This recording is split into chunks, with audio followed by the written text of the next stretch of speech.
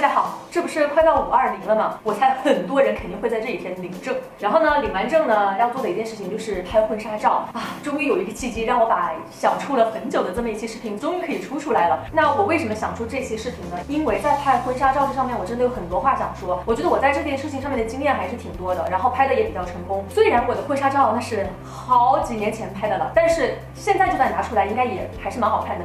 哦，哎哎，对了。你们有没有发现我今天只戴了一个耳环？不是因为我走在潮流的先锋，而是另外一只真的找不到了，就只找到一只。我当时这套婚纱照拍下来呢，身边朋友的反响还是挺好的。然后呢，他们都以为我这套婚纱照花了很多钱，因为你们知道，现在其他地方我不知道，在北京拍一套婚纱照随随便便就一两万，但是我这一套婚纱照一共有五五套服装吧，才花了。六千块钱算是比较便宜的了。你们这些小年轻啊，千万不要以为只要选了一个照婚纱照的店，然后后面什么事都不用管了，就能出来很好看、很满意的照片。根本不是这样。拿到一套你满意的好看的婚纱照，究竟有哪些注意事项呢？接下来，让我们正式开始今天的视频。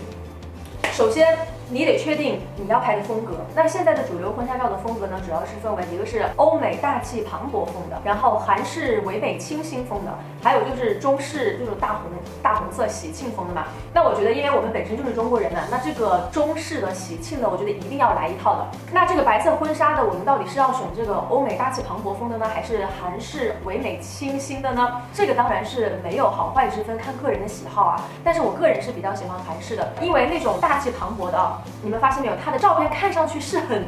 很很大气，但是看不出是谁，所以我觉得拍了一组婚纱照，就是看不出来是我，这一点也是有点难以接受。那韩式的这个婚纱照呢，它比较注重人，就它的景别，就是它的这个景啊，不会特别大，一般都是人会比较大一点，而且它的那种光影关系、那种构图、画面的感觉，以及拍照的一些表情、姿势，我觉得会更好的表现出两个人的比较亲密的关系，比较甜蜜的回忆。好，你在确定了婚纱。拍照的风格之后，你就可以开始选拍照片的店了。那我知道，我口牙上没粘口红吧？我要去看一下。没有粘。嗯，继续啊，我就在大众点评上面选，找到了两到三家，我觉得还比较 OK 的，价格适中，然后客片。你们到那个婚纱照婚纱照的店。不要看人家的样片，就不管你们去哪里照相，都不要看人家的样片。拍样片的那那都是模特，模特是一种什么生物？就是怎么拍都会好看的一种东西。所以呢，大家一定要看客片，那就是普通人，就长相比较平凡的凡人拍出来的照片。如果那个照片都好看的话，那就说明这家拍的很不错了。然后我就找到了两到三家，于是我就在一天之内走访了这三家照婚纱照的店子。你走进了这个店呢，首先迎面扑来的，错了，迎面而来的就是。店铺的销售，我当时走访了这三家店呢。第一家店被我 pass 掉的原因呢，就是它性价比不高。它当时好像是只能拍三套还是四套，要八千块钱。的这个套的意思是指服装啊，就是比方说一套服装给你拍个几张，就是它的这个服装也不多呀，精修片的数量也不多，价格也不便宜，看着也就那样，然后就 pass 了。第二家呢，感觉还不错，而且他说他能够给我一个。韩国的摄影师一一般，如果韩式婚纱照，韩籍的摄影师比呃国内中国籍的摄影师要贵一些嘛。然后我就本来都已经想就是订了这一家了，结果哦，我是第二天，当时第一天来不及，我第二天才去的第三家，我最后订的就是这个第三家。这个第三家的销售真的是，我我我跟他说，我说我昨天去了那一家，同样的价钱给我这个韩籍的摄影师，结果你知道这这一家销售怎么说的呢？哼，你信他的？你知道他是韩国人还是朝鲜人吗？然后我当时，我当时就虽然说不能信，不能完全信他的话，但是我当时真的有一点怀疑。但是我不完全是因为这个原因来，最后选择了最后这这一家呢，是因为他们说可以让样片摄影师帮我拍，就是他们家所有的样片都是这个摄影师拍的。虽然这个摄影师他不是韩籍的，但是他他们家的样片都很好看，所以我建议你们选摄影师啊，也选就是他们家的，你甭管什么第一柜还是第二柜、第三柜。你就选样片摄影师，我觉得就还蛮安全的。为什么他们能让我用一个就是普通的价格，而让样片摄影师给我拍呢？就说到这个讲价的问题了。那我跟你们说啊，这个拍婚纱照的这个店啊，竞争是很激烈的，所以你们千万不要怕讲不下来价。我还想起一件事情，我不止去过三家，我还去过我还去过一家，就是那个现在广告打得很响的，就是天天在我朋友圈里出现，虽然有点小贵，但是。巴拉巴拉巴拉巴拉，每次他后面那句话我都没有记住是什么，我就记住了第一句。每一次的广告的第一句都是虽然有点小贵。我每次一看到这条广告，我心里就想，好了好了，知道你贵好了，知道你贵，不用宣传了，好吧？去，OK。回过去再讲我们就是刚才没有讲完的那那那那个地方，关于讲价，婚纱店的这个竞争很激烈嘛，所以当时我就跟他们讲价，一开始好像是只同意七千还是六千多，然后当时呢我就是我并不是耍一个策略，我真的就是说我说哦那好那我回去再考虑考虑，我确实就是想再回去考虑考虑，但是我一起身这个门刚要去伸手打开门，后面的销售就一声喊住我。哎，别走嘛，别走嘛，那个可以的，可以的，我们就就六千嘛，就六千。然后他同时给了我好几个优惠：第一，价格妥协了；第二，让样片摄影师给我拍；第三，让什么造型总监给我做造型。然后我一听还挺心动的，然后那就定下来算了，就付了钱。所以如果你们在讲价讲不下来的时候，可以试一试说。啊，我再回去考虑一下。然后好，定下来之后就到了这个拍摄当天。我跟你说，我拍摄我拍婚纱照当天，其实一开始还蛮失望的，因为人家的那个照片出来，那个婚纱本来就很好看、很美的。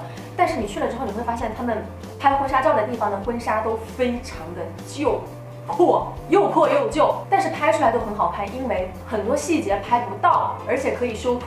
然后我当时到了之后，我就啊。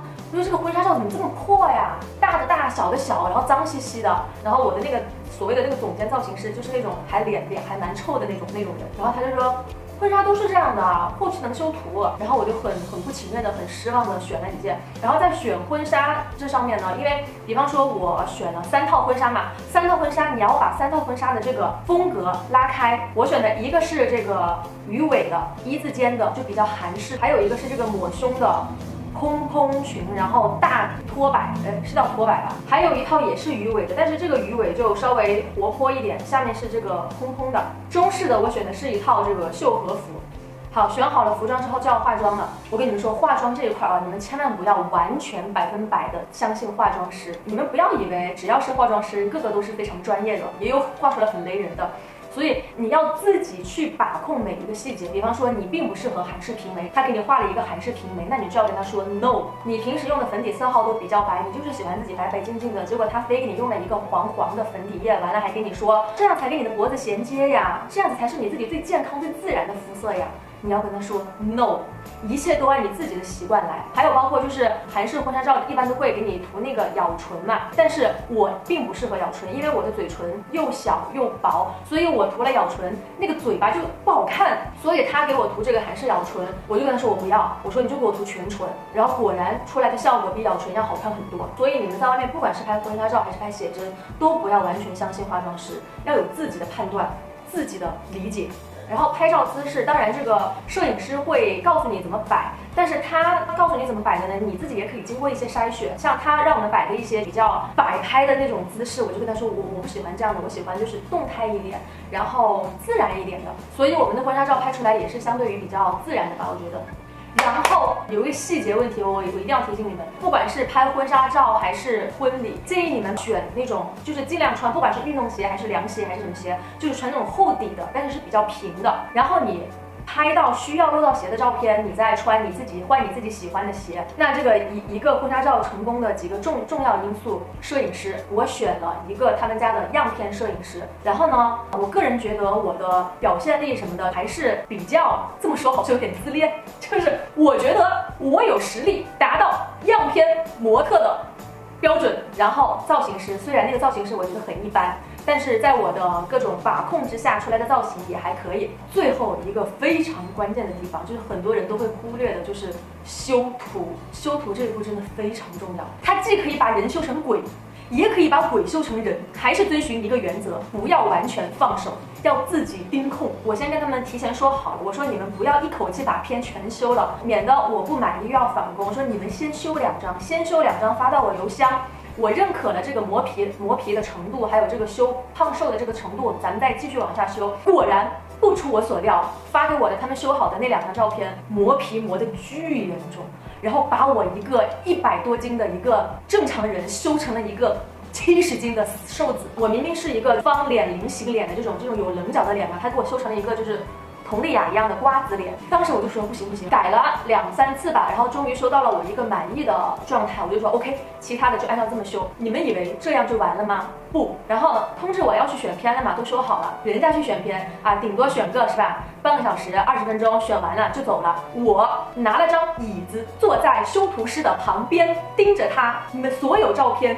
一张一张的过，一张一张的改。我觉得那天那个修图师简直就是人生最黑暗的一天，我觉得他都要崩溃了。他们本来那个修图师的办公室就很小，然后我还挤在他的旁边，然后每一张每一张哦，OK，第一张，第一张，嗯，这个脸这个地方。往右来一点点啊，这个腿这里往左去一点点，就是每一张这么勾勾勾勾，每一张这么修，我看着他修，修了一个下午。我但是我跟你说，真的很重要，因为我提出的这些修改的地方，真的不是说很鸡肋的，修了跟没修一样的，真的是很重要的。就比方说，我那个中式的那一套，做的是一个有靠背的椅子，然后每一张它那个靠背都露出来的，然后我就让他盯着他把靠背全部都修掉。然后还有一张是我和大老钱拿着一个那个黑板。黑板上面你们现在看到的那个照片上面写的是什么？你可以嫁给我吗？好的，我愿意。但是实际上那个黑板上面是什么字都没有写的，而且是脏兮兮的。当时我看到这个照片，我说，我说这个黑板这样不行吧？上面得来几个字吧？然后他就说没没关系啊，这样可以啊，这样可以啊。我说你别敷衍我，你赶紧把这上面给我 P 几个字。然后他一开始给我 P 的字都还很假的，就是还没有现在这么自然，就很假的几个字，一看就是 P 上去的。我说不行，我说你得给我搞自然。然后来来回回搞了半天，终于搞得自然了，然后就出来现在的效果。所以我后来跟来问我的朋友说的是，我说即使我告诉你我在哪里拍的，你去拍，你如果什么都不管的话，你拍出来的照片也不一定会好看。所以这一期的这个想表达的重点呢，就是不管你选哪一家，你都不要完全信任你的摄影师、化妆师、修图师，你都要自己提出你自己的想法，自己做好各种功课。然后呢，还有一个经验之谈，就是不管是婚纱照还是写真照，它不是都会让你什么选选册子啊，什么相框啊，巴拉巴拉的。当时我真的是就是，我都已经决定，我说我不要任何的实物，因为现在在家里面挂结婚照是一种很土的行为，是谁还在家里面挂个结婚照啊？那是十年以前的事情吧。所以像什么大相框、小相框，我一律通通不要。你万一后面要的话，哎。我突然想起，我上个星期发的 vlog，床头还挂了我的婚纱照，但是那不是我家，那是我爸妈家，他们愿意挂是吧？我也管不着。但是呢，选片的那天呢，就不知道怎么搞的，就被他们那边的人迷惑了，你知道吗？就跟我说，哎呀，这个相册多好多好呀，怎么怎么样啊，一顿说。最后我多花了一千多块钱买了一本那个实物的一个相册，拿回来以后，就这么多年了，好几年过去了。一次都没有翻过，而且我还嫌它占地方。而且你就算想打印出来给父母看，给老给家里老人看的话，你自己去淘宝找个地方去哪里打印制作成册、制作成相框，便宜多了，比他们的店里。还有包括精修照也是哦，对，加精修照很贵嘛，一般什么加一张加加一百加两百这种也不要加。自己去淘宝上找人，你你去淘宝上找一个专门这个修照片的，你就把他修好的一个精修给他说我要修成这种效果。后来在淘宝找的是十块还是二十块一张来着，所以加精修还有什么制作产品买产品这种东西不要弄。好了，以上就是这期的内容。虽然我是一个美妆博主，但是我真的很想，就是碰到这种可能跟美妆没有什么关系的主题，但是我很想跟你们分享，所以我还是会在视频里面跟你们说。我发现年纪大有年纪大的好处，就是有很多事情我都已经经历过了，有很多亏我都已经吃过了，我可以这样以自己的这个亲身经历，就是传授给你们，让你们少走一点弯路。好，那这期视频就到这结束了，祝大家过一个开心又幸福的五二零，拜拜。